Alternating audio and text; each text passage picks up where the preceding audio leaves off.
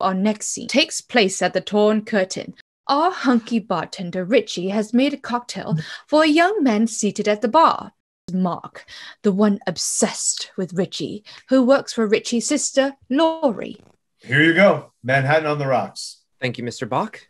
Call me Ritchie. Ritchie starts to wipe down the counter and inadvertently flexes while doing so.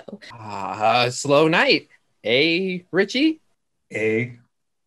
No one says that around here unless. I'm from the north, Which part? northern Michigan. You in town visiting?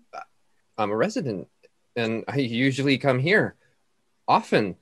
This is my favorite seat. I like this view. I like to watch you make drinks, cut lemons. You're so good with a knife. Oh, I uh, never noticed you before. Oh, it's okay. You're always so busy. You don't even have time to make eye contact with me when you serve me a drink. Not that I've noticed.